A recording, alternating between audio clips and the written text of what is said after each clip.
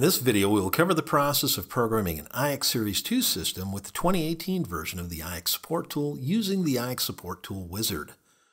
The Wizard is designed to get your IX system up and running as fast as possible by assigning default numbers, names, and network addresses. Open the IX Support Tool. The first thing you'll see is a screen asking for us to log in. The default ID and password is admin, all lowercase. Type in ADMIN for both the ID and password, then click Login. From the menu bar in the upper left-hand corner of the screen, select Create New System. The New System window will appear.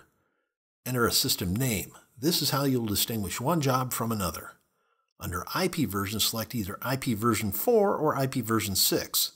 In this example, we'll select IP version 4. Under Installer Information, enter the contact information of who is installing the system. The owner information would be the end user's name and contact information. The Notes section can be used to write down any information pertinent to the installation. On the right side of the screen is a list of all the possible IX stations currently available. In this example, we'll have two of the IX MV7s. This will include version with and without the handset. We'll have one IXDV, two of the IXSS2Gs, and one IXRS. When done, click Next. The next screen that comes up is the system configuration screen. The stations we entered will be listed. By default, they will come with a station number, a name, and an IP address. The support tool will also search for stations on the network. If it has found all your stations but is still searching, you can click Cancel at any time to stop the search. Below the station settings list, you will find Advanced Settings and System Management. System Management includes Add New Station and Station Removal.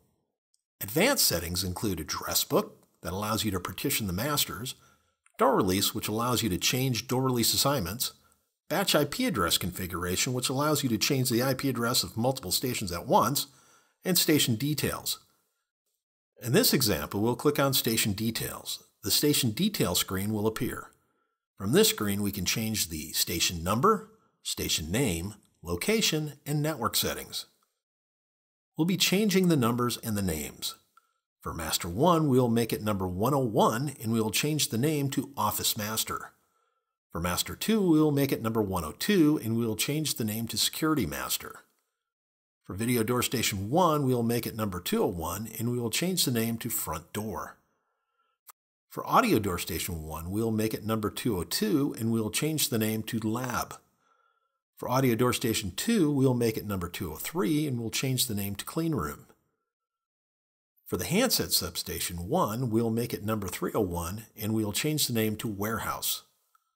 When done making your changes, click OK. All the changes made should be reflected in the station settings list.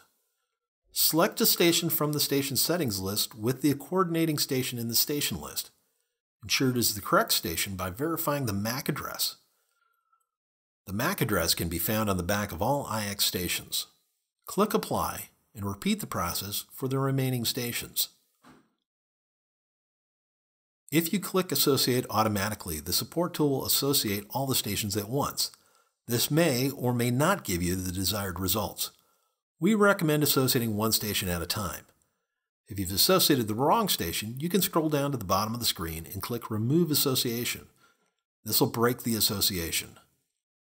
When done and all stations are correctly associated, click Next. Proceed to the next step only after all stations have completely rebooted. The setting file upload screen will appear allowing you to upload settings to the stations that have been associated. You can either select all stations or stations by type from the drop-down menu. In this example, we'll select all.